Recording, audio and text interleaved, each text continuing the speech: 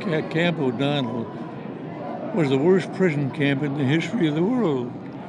The worst one in history. This, this guy, this commentator, it, it was. I tell you, I agree with him. It's it was it's it's, it's I can't think of a more horrible place than that place. It's the only time in my life I considered suicide.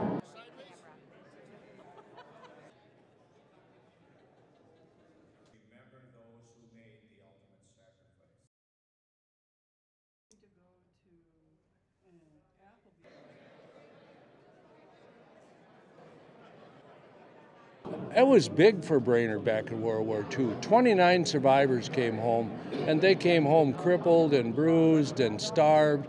Really a tough life. And, and we're amazed that we still have one survivor after all these years after what they went through. So it's very important that we remember these people and, and we continue to do so in the future.